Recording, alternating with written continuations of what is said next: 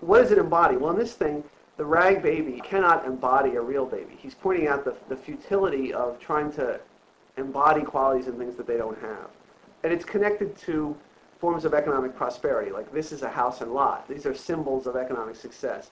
Or this is a cow, which I think refers to farming. You know, it refers to the, to the sentimental, symbolic place farming has in American life, where it's where real values are, it's where real work comes from.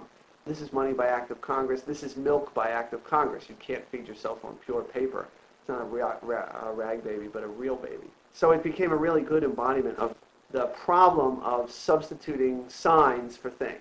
And it seems like a pretty straightforward and generally sort of commonsensical point of view. I mean, you can't hand a baby a note card and get it to drink it. That, it's, it's a very it's a witty expression of that.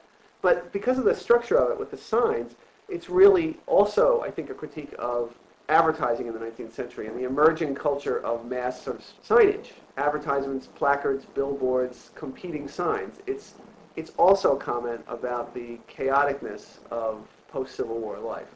And so it's not just commenting about money, it's also commenting about, what would you call it, you know, the, the virtualness of industrial capitalism. Industrial capitalism is increasingly sort of virtual, where you market something as as as a chair that looks like a handmade chair, but it's actually stamped on a press, and there are 20,000 of them. There, the watch looks like it's gold, but it's actually plated in some new technological process. There's a quote from Henry Ward Beecher that I use where he says that we live in a culture of lies. Lying flour in our bread, our clothes are lies. They look like things they're not.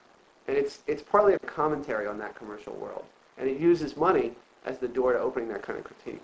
One of the things that unconsciously revealed in here is a certain amount of anxiety about reproduction. Hmm. Mean, why choose a rag baby?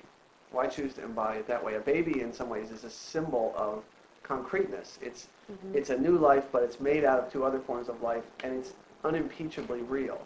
Mm. It's the symbol of, of, of kind of realness. And the idea of declaring something a baby, which isn't a baby, is kind of the ultimate expression of, you know, the arrogance of people. You can't create life. Life is the most basic thing you can't make, and you can't make a baby out of parts or pieces. So it has something. It's not unlike Frankenstein. It seems to me it has some of that same concern about generation and reproduction. So one of the things I'd say is that it's not an accident that he chose a rag baby. And you could say it, it has a lot of values. On the one hand, it, it mocks children's fantasy play. And it says that paper money is a sort of child's foolishness, sort of foolish, childish act.